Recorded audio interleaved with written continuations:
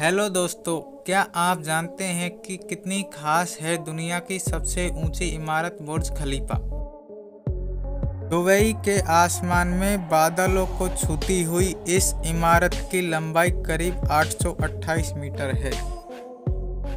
बुर्ज खलीफा का आकार तिपाई यानी बाई जैसा है और यह 7.0 तीव्रता तक का भूकंप भी झेल सकती है।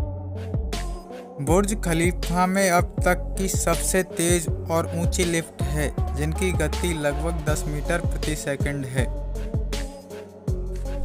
इस गगनचुंबी इमारत के नाम पर सात वर्ल्ड रिकॉर्ड दर्ज है।